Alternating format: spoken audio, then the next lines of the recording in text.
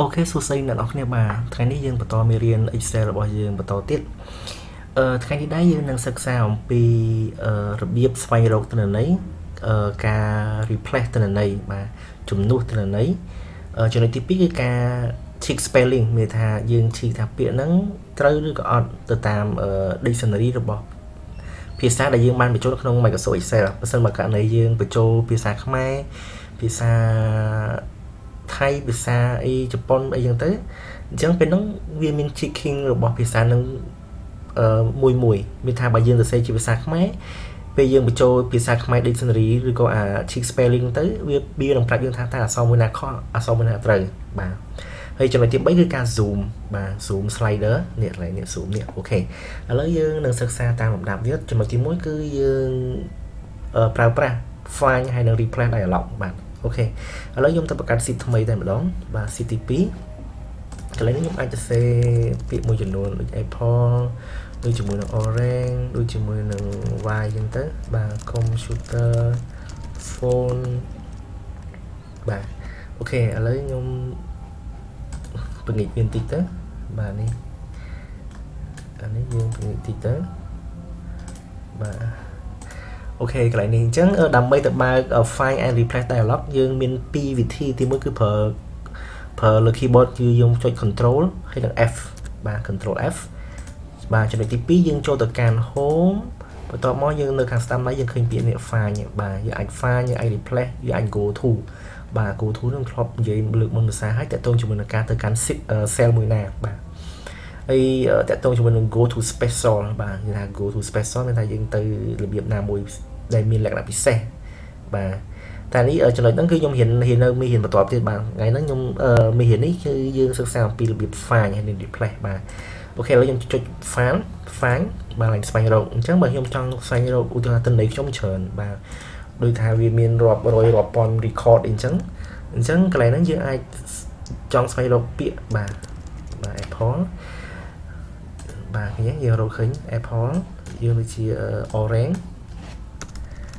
ដូចជា y អញ្ចឹងទៅបាទបាទចុះបើសិនជា y w8 យើងរកឃើញទេឥឡូវយើងចុចលេខនេះបាទអូខេនៅរកឃើញអញ្ចឹងបាទ w8 តែបើសិនជាករណីមួយទៀតឧទាហរណ៍ថានៅកន្លែងនេះខ្ញុំទៅសេ apple អក្សរធំណា apple អក្សរធំបាទ apple អក្សរធំហើយខ្ញុំ control F ភាសាទៀតណាបន្ទាប់មកខ្ញុំចុច option នេះខ្ញុំពលាពលាហើយខ្ញុំចុចកន្លែង match match case បាទ mic case ហ្នឹង WH គឺរអឺនៅបានបាទព្រោះដោយសារវាអក្សរតូចណាតែបើសិនខ្ញុំវាយអក្សរធំ WH អក្សរធំចេះបាទអត់មានទេដោយសារ mic case ហ្នឹងមានថាបើសិនជាយើងរកទិន្នន័យជាប្រភេទអក្សរតូចត្រូវតែទិន្នន័យរបស់យើងអក្សរតូចតែបើសិនជាអក្សរធំវាត្រូវរកអក្សរធំបាទគឺវាត្រូវវាអានឹងលក្ខណៈ case sensitive បាទអូខេឥឡូវបើខ្ញុំបាយ Apple អក្សរធំអក្សរតូច Apple អក្សរតូចវាហត់មក Apple នេះបាទបើសិនជា Apple អក្សរធំ Apple អក្សរធំបាទខ្ញុំ find មកគឺ find អូខេឥឡូវបើខ្ញុំលុបនេះមក record ចោលបាទអញ្ចឹងខ្ញុំហៅអក្សរតូចវិញណាបើអក្សរតូចវិញ A Apple find ឃើញអត់មានទេអញ្ចឹងដោយសារការពិត Apple នេះពាក្យតែមួយទេតែដោយសារយើងថា mic case វា case sensitive អក្សរធំអក្សរតូចគឺខុសគ្នាណា ចំណុចមួយទៀតតកតងជាមួយនឹង within seat អានេះយើងរក seat តែមួយ seat 3តែបើសិនករណីឯកសារយើងមានច្រើន seat អញ្ចឹងឧទាហរណ៍ខ្ញុំបង្កើត seat ថ្មីចុះខ្ញុំដាក់ថា y នេះមួយទៀតណាហើយខ្ញុំដាក់នេះដាក់អឺដាក់ថា apple នេះមួយទៀតបាទអញ្ចឹង seat 3អញ្ចឹងបើករណីខ្ញុំរករ y បាទរ y នេះយើងបើយើងដាក់ថា within seat មានថាយើងរកតែក្នុង seat ហ្នឹងទេអា seat 3នេះអញ្ចឹងរកទៅបាទយើងឃើញតែមួយហ្នឹងឯងតែបើយើងដូរ workbook វាថា workbook នេះគឺ document ទាំងមូលគឺ book 1នេះ .xlxs នេះ file ទាំងអស់នេះអញ្ចឹងនៅក្នុង workbook មួយវាមាន worksheet ច្រើនបាទដូចឥឡូវនេះយើងមាន worksheet តទៅ4អញ្ចឹងបើយើង find នៅក្នុង workbook គឺវារកឃើញទាំងអស់ណាឥឡូវបាទនេះឃើញមកពី certic ទី4ណា បាទឃើញទេវាយចុះបើហៅ Apple ខ្ញុំដាក់ Apple យើងដោះអាធំចេញអញ្ចឹងវារកឃើញអាទូចធំរកឃើញទាំងអស់អក្សរតូចអក្សរធំមកបានអស់ណា Apple ឃើញមួយឃើញមួយនេះតើសិតមានសិតទី3សិតទី5ឥឡូវយើងអាច find all នេះយើងឃើញយើងចុច find all យើងនឹងឃើញថាអឺឯកសារ workbook យើង book 1នេះសិតទី3 cell ទីប្រមាណ value Apple មានអញ្ចឹងនេះ C យើងមើល C 9ណា C 9 value Apple ហើយអានេះ seat ទី5 cell ទីម៉ាន D 12ណាត្រឹមត្រូវរបស់គេបាទអញ្ចឹងនេះរបៀប find all ណាអញ្ចឹងអឺការ find ទិន្នន័យបាទខ្ញុំចង់ថាបញ្ជាក់ថាការ find ទិន្នន័យវាមានលក្ខខណ្ឌវាខ្លះមួយចំនួនឧទាហរណ៍ថា ទិន្នន័យដែលយើងកំពុង find នោះវាគឺជាថ្ងៃខែវាគឺជាលេខវាគឺជារូបិយប័ណ្ណណាមួយអញ្ចឹងយើងត្រូវ format វាសិនដើម្បីស្វែងរកវាយើងអាច format ជា date format ជា time format ជា person បាទ fraction គឺប្រភេទបាទជាតិចជា custom អីហ្នឹងសំខាន់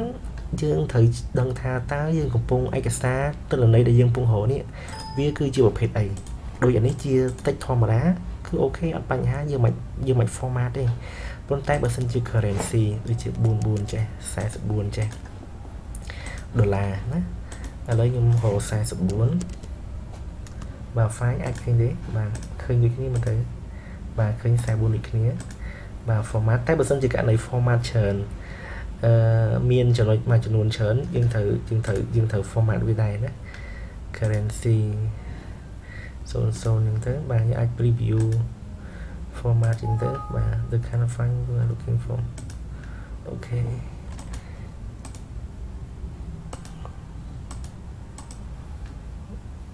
244 currency អូខេ symbol អូខេកន្លែង format តកតងជាមួយនឹងលេខនេះដោយសារជាយើងមើលចាអូខេប្រហែលនេះ យើងមើលអានេះគឺលេខ44នេះណាបាទ44នេះប៉ុន្តែបើសិនជាករណីយើងចង់រូបមន្តឬក៏ format ដែល value របស់វា function របស់វានេះវាចេញលក្ខណៈ currency ចេញលក្ខណៈ date ថ្ងៃខែនៅកន្លែងនេះគឺយើងត្រូវ format control F បាទយើងត្រូវ format អានេះហើយបាទបាទយើងត្រូវ format អានេះតែដោយសារអានេះនេះ44យើងមើល value វា44តាហើយអា format នេះគឺ format ខាងក្រៅទេបាទ វាមិនមែនជាការផ្សំគុំដោយធាតុណាផ្សេងផ្សេងអញ្ចឹងណាអូខេអូខេអញ្ចឹងអឺមេរៀនបន្ទាប់ខ្ញុំនឹងអឺប្រាប់បន្ថែមលម្អិតបាទតាក់ទងជាមួយនឹង format បន្ថែមនេះទៀតបាទឥឡូវយើងចូលទៅការ replace របស់យើងពាក្យថា replace អូខេឥឡូវ replace យើងអាចពាក្យថា replace មានថាយើងទៅរកអ្វីមួយដើម្បីយកយើងទៅរករបស់ដែលយើងចង់ replace ផ្លាស់ប្ដូរហ្នឹងហើយ replace ជាមួយនឹងជាមួយនឹងអ្វីថ្មីមួយទៀតបាទអញ្ចឹងយើងទៅរកអីពាក្យអី ពាក្យ y ខ្ញុំរកពាក្យ y បន្ទាប់មកខ្ញុំចង់ replace ទៅពាក្យថា black black ck ck វិញបាទ black អញ្ចឹងខ្ញុំខ្ញុំដូរពាក្យបាទខ្ញុំផ្លាស់ប្ដូរពាក្យហ្នឹងនៅក្នុងតាស៊ីត3ទេបាទអត់ឆ្លងស៊ីតខាងក្រៅទេអញ្ចឹងខ្ញុំដាក់ស៊ីតហ្នឹងបាទ bio វិញទៅ formula option របស់វាអូខេឥឡូវខ្ញុំចុច replace បាទ replace អូខេកន្លែងនេះ not previous ខ្ញុំអត់ format ទេបាទ format ណាឥឡូវយើង find ទៅសិន find next y បាទត្រូវតោះមកខ្ញុំ refresh black បាទនេះត្រូវឃើញទេអញ្ចឹងបើសិនជាករណីខ្ញុំមានអឺ y ច្រើនណាខ្ញុំ copy មកវាយច្រើនហ្នឹងទៅបាទខ្ញុំទាញមកចាទាញមកអស់បាទអញ្ចឹងខ្ញុំ control F ភាសាទៀតខ្ញុំ replace អញ្ចឹងកន្លែងនេះយើងឃើញពាក្យថាវាយ ចឹងបើសិនជាករណីតន័យយើងមានច្រើនអញ្ចឹងយើងខ្ជិល replace មួយមួយឥឡូវខ្ញុំ find ខ្ញុំ find សិនណាឃើញហើយខ្ញុំ replace replace replace replace បាទ u u មែនតើអញ្ចឹងករណីហ្នឹងយើងអាចចុចមួយតែម្ដងយ៉ាស្មើអស់មកតមកយើង find replace វិញបាទអញ្ចឹង y យើងអាចយើងចុច replace all បាទចុច replace all មកអូខេ we made 10 replace replacement អញ្ចឹង10 10តំណ័យណា replace នេះ black នេះ10តំណ័យអញ្ចឹងពេលចុច replace all ទៅវានឹងដូរទាំងអស់ហើយបាទឲ្យតែពាក្យណាដែលយើងរកពាក្យ y នេះដូរទៅ black ទាំងអស់បាទអូខេអញ្ចឹងតាក់ទងជាមួយនឹងការ file replace គឺមានតែប៉ុណ្្នឹងឯងបាទអាច find មួយមួយក៏បានអាច find ទាំងអស់ក៏បាន find all ខ្ញុំដូរ black វិញបាទ find black បាទ black បាទ find all មើលទៅជាអីបាទនេះ10 record បាទ10 record របស់យើងឃើញមានហើយអូខេអញ្ចឹងការ find អឺចឹងការ find នោះឯងគឺយើងអាច find នៅក្នុង sheet ដែលយើងកំពុងតែប្រើប្រាស់ឬក៏អាច find នៅ workbook ទាំងមូលទៅក៏បានបាទហើយការ find នោះវាមាន match case បាទមានអីហ្នឹងបាទ អានេះមាន my entry cell content បាទមានតតែ content ដូចគ្នាដូចអីនោះគឺមានអស់ខ្ញុំមានថាឧទាហរណ៍ថាដូច blank ចឹងខ្ញុំអាចវាយ WL អាចស្វែងរកឃើញទេបាទនេះឃើញណាឃើញឃើញតែបើសិនជា my entry cell content អត់ឃើញទេតើតែ content ហ្នឹងដូចគ្នាទាំងអស់មានថាតើតែយើងវាយ black អក្សរពេញបាទអាចរកឃើញបាន អញ្ចឹង match entry cell content នេះបាទអញ្ចឹងតើតែអា content នៅក្នុង cell ហ្នឹងដូចនឹងអ្វីដែលយើងពោលស្វែងរកហ្នឹងបានវាចេញមកតែបើយកអត់ដកហ្នឹងទេដើមដល់អក្សរហ្នឹងបាទក៏អាចរកឃើញដែរឬក៏ CK អាចរកឃើញទេបាទរកឃើញដូចគ្នាអញ្ចឹងបាទអញ្ចឹងវាអីមែនតើហើយអា match case នេះតើតែអក្សរហ្នឹងទួយទួយទាំងអស់មានថាតើតែអក្សរហ្នឹងបើសិនជាឯកសារយើងសេអក្សរធំ ពេលយើងវាយវាយវាយអានេះទួយរកឃើញទេបាទមិន case ហ្នឹងបាទនេះវាលក្ខណៈ case sensitive ណាអូខេចឹងសង្ឃឹមថាអ្នកទាំងអស់គ្នាយល់តើតើជាមួយនឹង find replace នេះហើយលក្ខខណ្ឌនេះវាមានរបស់វាទាំងអស់ណាបាទអូខេដល់ចឹងតើតើជាមួយ format នេះខ្ញុំនឹងថែមនៅមេរៀនបន្ទាប់បាទបន្ទាប់បាទអូខេឥឡូវយើងចូលដល់ចំណុចទី2គឺការ check spelling បាទ check spelling ឥឡូវទីខ្ញុំទៅសេពាក្យថា អឺ i i ខ្ញុំមិនដឹងថាសេមិនទេអេអញ្ចឹងអត់ដឹងថាខុសត្រូវទៀតបាទអញ្ចឹងកន្លែងនេះអាច check spelling ខ្ញុំចូលទៅកាន់ review ហើយ spelling អញ្ចឹងវាប្រាប់ពាក្យហ្នឹង i មាន s បាទភ្នែក i ទៅទេអញ្ចឹងខ្ញុំចង់សរសេរមួយណា yes បាទឬក៏ i នេះឬក៏ i នេះបាទអញ្ចឹងខ្ញុំយក i នេះ i នេះខ្ញុំចុច change មក បាទវា change អូខេ yes បាទឃើញទេអូខេអញ្ចឹងករណីមួយទៀតបើសិនជាដូចជា i អត់ដែរអញ្ចឹងឧទាហរណ៍ i អត់ដែរអញ្ចឹង i នេះ ey នេះអូខេវាថា i វាច្រើនអញ្ចឹងណា ey s បាទទៅក្នុងឯកសារយើងវាមានយើងទៅសេ i អញ្ចឹងតែការពិតវាខុសទេអញ្ចឹងចុចលើវាយើង check spelling តោះមកយើងគិតថា i មួយនេះត្រូវហើយបាទ ignore one អញ្ចឹងយើង ignore នេះ ignore នេះអញ្ចឹង ignore នេះវាហត់ទៅរកអានេះផ្សេងមួយទៀតនេះវាហៅមួយទៀតយើង ignore បើ ignore all គឺទាំងអស់ហ្នឹងវាទទួលយកទាំងអស់ឯកសារហ្នឹងណាតែបើសិនជាយើងចុច change បើយើងចុច change តែមួយទេវា change តែមួយទេបើយើងចុច change all អូខេបើយើងចុច change តែមួយនេះចុច change តែមួយនេះវា change តែមួយទេបើយើងចុច change all វា change អាពីរនេះ អាមួយនេះអត់ change ទេមូលហេតុអីមូលហេតុដោយសារអាមួយនេះយើង ignore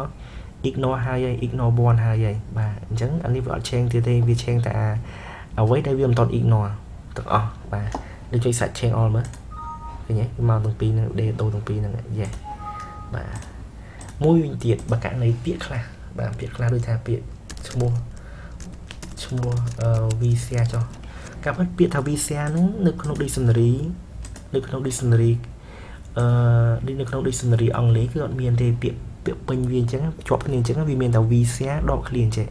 washer អញ្ចឹងអញ្ចឹងបាទពេលហ្នឹងយើងអាច add to dictionary បាទយេ do you want to continue checking add យេអញ្ចឹងពេល add ចូល dictionary ទៅវាថ្ងៃក្រោយវាដឹងហើយបាទយើងសាកមើលអូខេ check spelling យេអូខេ I don't know នេះមួយនេះ check spelling do you want to continue checking the beginning of it yeah I or you save សិននេះ desktop desktop save អូអានឹងប្រហែលជាអត់តន់ចូលមកទៅ dictionary ក៏ពិតអានេះក្នុងនោះមានភាសាអីខ្លះ មានភាសាអេស្ប៉ាញភាសាបារាំងអង់គ្លេសអង់គ្លេស United States បាទអូខេអង់គ្លេស United States Kingdom អង់គ្លេស United States បាទនេះ ignore វាចោលយើងនៅតែ check អាហ្នឹង do you want to continue checking at the beginning of the sheet វាសារពាក្យហ្នឹងវាខុស ignore all មើលអូ ខេឥឡូវខ្ញុំពុកចោលតែហ្មងទៅហើយខុសអញ្ចឹង we share check spelling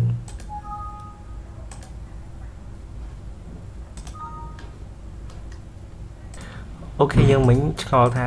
ហេតុអីបានជាវាលោតមកអញ្ចឹងដោយសារដោយសារវាអត់មានអីត្រូវឈីកទៀតបាទយ៉ាគឺថា spell check complete you are good to go មានថា ពាក្យទាំងអស់នេះអត់ខុសទេនេះពាក្យទាំងអស់នេះអត់ខុសទេអា VCN នេះក៏អត់ខុសដែរដោយសារ VCN ហ្នឹងយើងបានអាចចូលទៅក្នុង dictionary របស់ភាសាអង់គ្លេសហ្នឹងហើយហើយណាឥឡូវបើខ្ញុំទៅសេ VCN មានមាន S ចេះវិញអញ្ចឹងវានឹង check អូខេវានឹង check ឃើញទេកាលមុន VCN ជាប់គ្នាអត់មានទេណា VCN ជាប់គ្នាអត់មានទេឥឡូវនៅក្នុង dictionary suggestion យើងមានន័យដោយសារយើងអាចចូលទៅកាន់ dictionary នេះហើយហើយណា បាទអូខេឥឡូវខ្ញុំឆេងតែម្ដងឃើញទេអូខេតទៅពេលយើង check មួយសារទៀតវាថា do you want to continue checking the beginning of the sheet បាទ yes អូខេវាថារបស់ទាំងអស់ហ្នឹងវាត្រូវក្នុងវាត្រូវពាក្យពេចអស់ហើយมันអត់មានមួយណាដែលត្រូវការផ្លាស់ប្ដូរទៀតទេបាទអញ្ចឹងបានយើងមានឆ្ងល់ថាម៉ៅ4ហើយបានវាលោតអញ្ចឹងដោយសារអត់មានពាក្យខុសត្រូវទាំងកែបាទអូខេអញ្ចឹងតកតងជាមួយនឹង spelling យ៉ាយើងអាចសរសេរអក្សរខុសមួយមកយើង check spelling មកវាបានវាលោតបាទ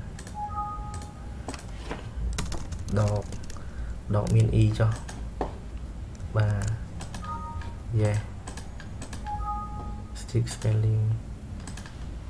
នេះដកមាន e មានដែរ e v មានមើល yeah អូខេ តើតែតើតែពាក្យហ្នឹងខុសហ្មងបានបានបានវា load ឲ្យចេញអានេះ spelling english នេះបាទអូខេអញ្ចឹងកន្លែង option យើងនេះយើងអាច ignore word uppercase មានថាអឺអក្សរធំអក្សរតូចបាទយើង ignore នេះយើងអាចមើលតាមនឹងបានហើយកន្លែងតាក់ទងជាមួយនឹងការ add ចូល dictionary នេះយើងដឹងហើយយើងអាចពាក្យនឹងចូល dictionary យើងអាច ignore បើសិនតែពាក្យនឹងថាយើងគិតថាត្រូវហើយយើង ignore វាទៅ ហើយតាក់ទងជាមួយនឹង dictionary language នេះគឺយើងអាចបញ្ចូលវាបាន បាទយើងអាចបញ្ចូលវាបានបើយើងទៅធ្វើទៅសេជាខ្មែរយើងបញ្ចូលជាភាសាខ្មែរទៅយើងចូលតាមណាគឺចូលចូលទៅ file option បាទ file option ហើយកន្លែង language នេះបាទយើង install ទៅបន្ទាប់មកឲ្យយើង install តាក់ទងជាមួយ spelling នេះនេះឃើញទេដោយភាសាអង់គ្លេសនេះខ្ញុំ install រួចហើយតាក់ទងជាមួយ spelling grammar តែតាក់ទងជាមួយនឹងភាសាចិនភាសាកាតាឡានគឺនៅទេយើងអាច install តាមអ៊ីនធឺណិតបាន តែបើសិនមក Microsoft Office យើងអត់ license ទេកុំគួរ install អីបានអាចដាច់ license បានណាអូខេអញ្ចឹងខ្ញុំមិនលេងខ្ញុំមក install ទេដោយសារខ្ញុំអត់មាន full license តាក់ទងជាមួយនឹង Microsoft Office ខ្ញុំអញ្ចឹងណាអូខេអញ្ចឹងបើអ្នកគ្នាអ្នកទាំងអស់គ្នាមាន license អ្នកទាំងអស់គ្នាអាច install ដោយខ្លួនឯងបានតាមរយៈ internet បាទចុចទៅវាទៅ download auto ហើយបាទអូខេអញ្ចឹងតាក់ទងជាមួយនឹងចំណុចទី2គឺចប់ហើយតាក់ទងមួយ check spelling បាទតាក់ទងមួយ zoom slider បាទកន្លែង zoom slider នេះគឺលឿនទេបាទ zoom slider នេះកន្លែងនេះ zoom ហ៎ zoom ទូចបំផុតបាន10%ឯកសារយើងទូច10%ណាប៉ុន្តែ phone នៅដដែលណាយើង phone 11ដដែល zoom ធំបំផុត400នេះ400%ការ zoom ទូច zoom ធំអត់ប៉ះពាល់ទៅកាន់ phone របស់អសរទេបាទដោយសារអីវាយើង zoom នឹង zoom worksheet បាទ យើង zoom worksheet យើងមិនមែន increase យើងមិនមែនបន្ថែម font ឲ្យអក្សរនឹងទេបាទអញ្ចឹងណាកុំយល់កុំយល់ច្រឡំដូចនេះឃើញទេ font នៅដដែលណា font នៅដដែលចឹងការ zoom ហ្នឹងគ្រាន់តែងាយស្រួលក្នុងការបង្ហាញពងុំឯកសារមើលងាយស្រួលមើលអ្នកណាខ្លះអ្នកខ្លះគាត់ចង់មើលលក្ខណៈ worksheet រៀងធំទូចតាមដែលជាចំណងចំណូលចិត្តរបស់ពួកគាត់អញ្ចឹងអញ្ចឹងការ zoom ហ្នឹងគឺមានតែប៉ុណ្្នឹងឯងបាទនេះឃើញទេ zoom យើង ធំតូចនឹងបាត់ទូចបំផុតបាន10%ធំបំផុតបាន400%បាទអូខេអញ្ចឹងអឺមេរៀននេះគឺមានតែប៉ុណ្្នឹងឯងតកតងជាមួយនឹង file មាន cheat spelling មាន zoom អីហ្នឹងបាទអូខេអរគុណច្រើនសម្រាប់ការទស្សនាជួបគ្នានៅវីដេអូបន្តទៀតបាទអរគុណច្រើន